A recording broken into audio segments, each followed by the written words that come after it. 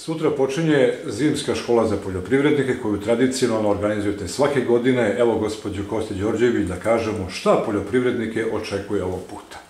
Tako je, upravo ste, Poljoprivredna stručna služba po svom godišnjem planu i programu u obavezi je da održi uh, jednom godišnje zimsku školu za poljoprivredne proizvođače.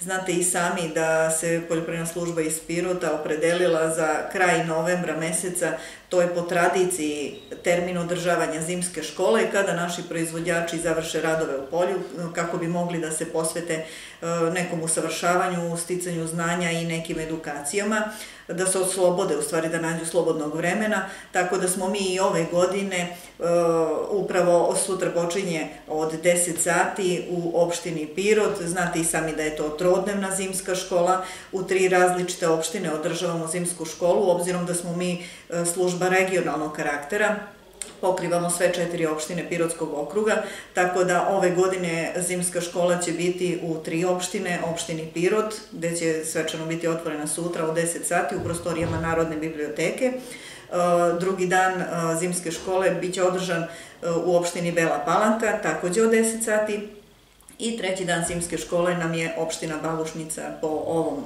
godišnjem planu i programu.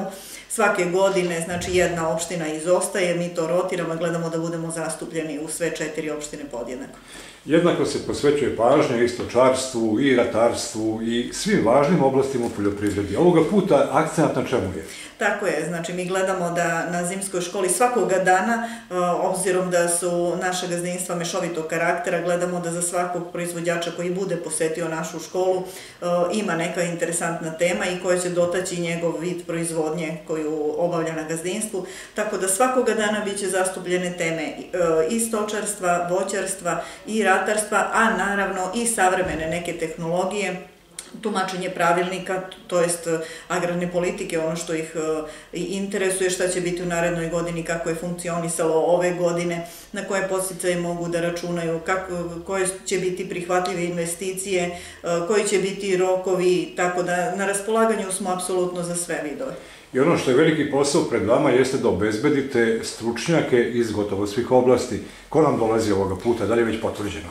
Tako je, mi, mi kao prezenteri i učesnici na zimskoj školi, mi savjetodavci iz svih oblasti poljoprivredne proizvodnje, koje ima ih sedam u našoj poljoprivrednoj stručnoj službi, svako će govoriti iz svoje oblasti, a naravno pozivamo i eminentne stručnjake iz instituta, iz bilo naučno-istraživačkih nekih institucija, tako da će i oni biti eksterni predavači na našoj zimskoj školi, Za svaku opštinu smo obezbedili po dva eksterna predavača. E, naravno, bilo je interesovanje za mnogo više, ali bi naravno u tom slučaju naša zimska škola morala da traje od 10 sati pa do 18 časova na veče, kada bismo prihvatili sve pozive.